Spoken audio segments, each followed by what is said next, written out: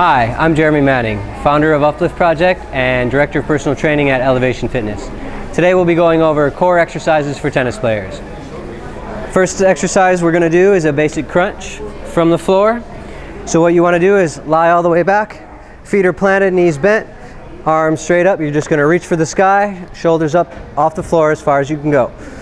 Inhale as you go as you come down, exhale as you go up. Draw your belly button in and reach for the sky.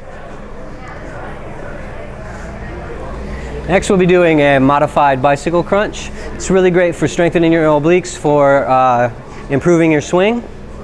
First thing you want to do is lie back. We're going to cross right leg over left. Bring your left hand behind your head.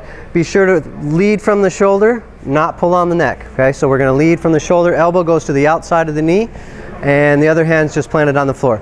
So you're going to come up, and return. Inhale before you, before you crunch. Exhale as you move through.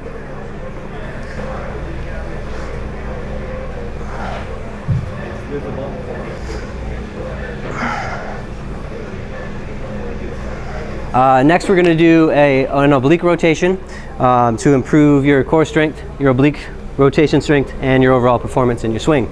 Go ahead and lie back, arms out into a T, Legs make 90 degrees and we're going to rotate from side to side nice and steady.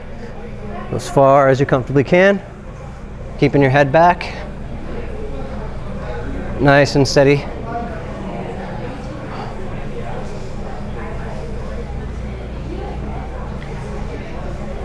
I'm Jeremy Manning and that was core training for our tennis players.